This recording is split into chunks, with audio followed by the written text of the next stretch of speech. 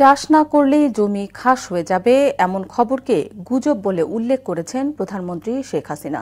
সকালে নিজ কার্যালয়ে মন্ত্রিসভার বৈঠকে তিনি একথা বলেন। দু হাজার তেইশ সালকে সংকটের বছর উল্লেখ করে পরিস্থিতি মোকাবেলায় সবাইকে প্রস্তুত থাকার নির্দেশনাও দিয়েছেন তিনি। পরে মন্ত্রিপরিষদ সচিব খন্দকার আনোয়ারুল ইসলাম এসব তথ্য জানান। মাইনুল হোসেন পিন্নু রিপোর্ট।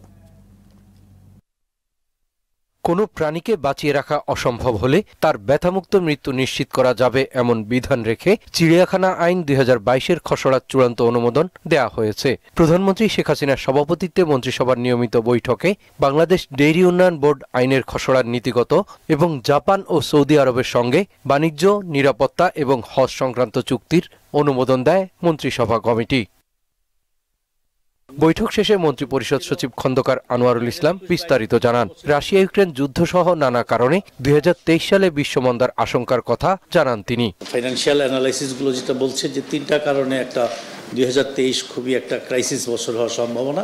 একটা হলো ফেডারেল রিজার্ভ যেহেতু রেট অফ ইন্টারেস্ট বৃদ্ধি করে দিয়েছে, এটা একটা। দুই নম্বর কোভিডের রিকভারিটা হওয়ার আগেই ইউক্রেন যুদ্ধটা শুরু হয়ে যাওয়ার ফলে যে প্রোগ্রেসটা হচ্ছিল সেটা আরও রিটার্ডেশন মানে নেগেটিভ দিকে চলে যাচ্ছে।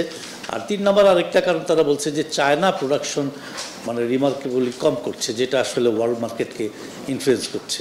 তো এই তিনটা জিনিসকে চিন অ্যানালাইসিস করে আপনারা দেখবেন ইন্টারন্যাশনাল যে অ্যানালাইসিসগুলি আসছে যে এই তিনটার কারণে আগামী দুই একটা ক্রাইসিস ইয়ার হওয়ার সম্ভাবনা আছে। তো সবাইকে এই অনুযায়ী একটু প্রস্তুত থাকতে হবে।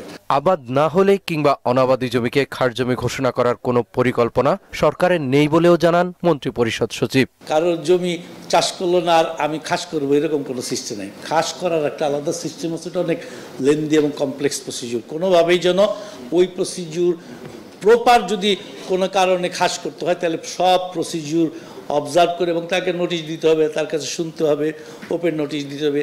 এইরকমভাবে জমিতে চাষ করে না আর এটা খাস করে ফেলবে এরকম কোনো প্রভিশন নাই। এটা এটা একটা গুজব একটা চারদিকে ছড়ানোর চেষ্টা করা হচ্ছে। মন্ত্রিসভা কমিটির বৈঠকে বিভিন্ন মন্ত্রণালয় এবং বিভাগের দুই হাজার একুশ বাইশ অর্থ বছরের আর্থিক কার্যাবলীর প্রতিবেদনও তুলে ধরা হয়। মন্ত্রিসভাতে বিস্তারিত আলোচনা মাইনুল হোসেন পিন্নু মোহনা সংবাদ ঢাকা।